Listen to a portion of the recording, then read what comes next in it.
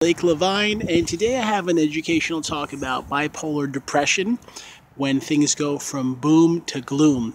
And over many years of helping others with bipolar disorder, I have found that one of the great parts of this illness is that there's a lot of creativity in many of our minds. And sometimes people with bipolar have the courage to go out there and pitch new projects or new ideas or concepts and what I have found to be hardest for some people is during the times where they're feeling like, hey, you know, I have a new idea or new project, and they go and they put their efforts to putting it together, there's kind of an excitement and a joy.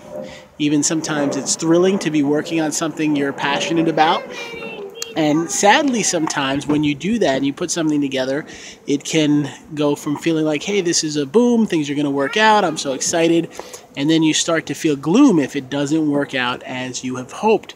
And I've seen different types of people with bipolar. There are some that are stable, that can put out projects and do it in a healthy manner, and that are saying, you know what, I'm going to do my best and give it my full effort. And if it works out, great. If it doesn't, you know what, I'll understand that sometimes things don't go as hoped. And that's a very positive way to live with bipolar and to do things because any creative person, whether it be an artist or a writer or someone that creates things, when they create things, they have to believe that it's going to work out and be um, something that will be successful. And then they have to learn to overcome obstacles or challenges and sometimes even failure.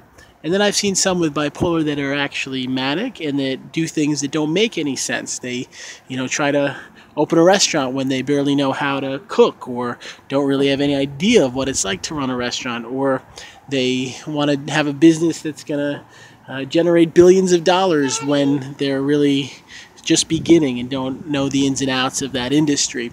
So, what I would say to anyone with bipolar is to first make sure you're stable and figure out, you know what, where am I at mentally? If I'm doing well and life is good, maybe that's the time to try some new ideas or new projects. If you're really struggling and you're sad or depressed or your moods are all over the place, maybe it's not the ideal time to begin projects. Maybe it means you should go seek support from a therapist or a doctor and try to get your health in check. And then for people that are actually out there trying to make things happen, I have to say that we are kind of in a downtime in our economy that has made projects um, much more difficult to see success with. And I think that anyone with or without bipolar has to know that if it's a down, depressed time, it's much harder to see success. And when you say, you know what, I'm going to still try and put in my full effort, I'm going to do whatever I can, but I'm going to remember that in a downtime, maybe out of 100 things, only one or two will work out uh, and be very successful. And that has helped me in my own life. Um, I just put out a new book, and I always have high hopes for my projects, but I have a very realistic part of me that says, you know what, I finished my book, it's published, it's in stores, I put it out to the people I know.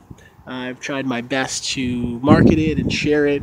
And then I leave it up to God and I say, God, you know what? Whatever you want with this project, if you see it selling millions, great. If you see it selling thousands, great. If you see it selling a hundred, then I appreciate that you gave me the ability to create it and put it out there. And I'll leave you with that. When you have bipolar and you actually put your ideas into the world, it's so beautiful because many bipolar people are writers, are actors, are musicians, are dancers, are business owners, and we need some of the genius that is part of living with bipolar because in my own life, I've had the ability to do many awesome projects, whether it be coming up in social work school with rap therapy to teach inner city kids to write song and dance about their lives, and then spending several years turning it into a documentary, interviewing 50 Cent and Russell Simmons and P. Diddy and Ludacris and Reverend Run, or writing books, whether it be Beating Bipolar that came out a few years ago, published by Hay House, or Depression, Bipolar, and Heroin about my brother facing